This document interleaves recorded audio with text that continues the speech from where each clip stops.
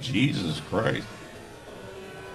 You can go to hell just for saying Jesus Christ with a tone in your voice. It's all the tone in your voice. That's the weird part.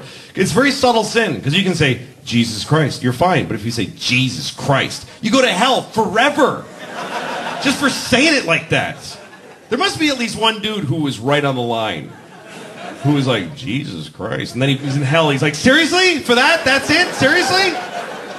It was a huge pumpkin. What was I going to not say anything?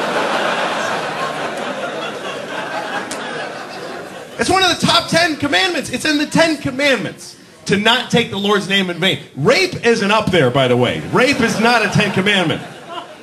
But don't say the dude's name with a shitty attitude.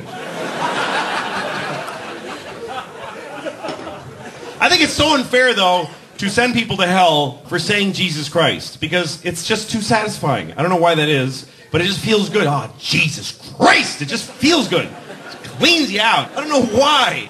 Whether you're anger or in pain or having sex or all three at the same time.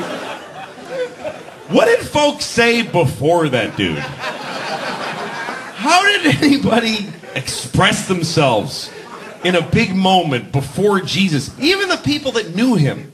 How did they, how did they, the people watching him be crucified, what could they even say watching that happen? They're like,